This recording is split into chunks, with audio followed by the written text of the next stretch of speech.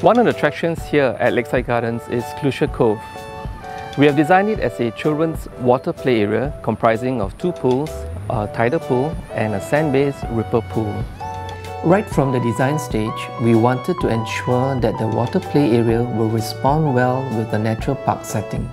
The amenities block is created with a large green turf roof to resemble a natural earth mount and the F&B building is designed in a curved form carefully positioned to overlook the eco pond, offering a very unique dining experience.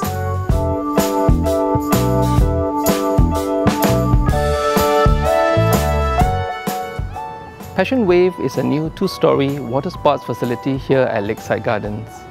We have designed this building to perch over the water's edge to allow visitors to come close to the water as well as observe boating activities. The open spaces also help increase airflow within the building and the lowered screens at the viewing deck aid to deflect sunlight so the visitors can have a more comfortable experience. To allow both pedestrian access and boating activities to take place smoothly, our architecture team came up with a simple yet effective solution to introduce an elevated promenade that runs continuously through the building.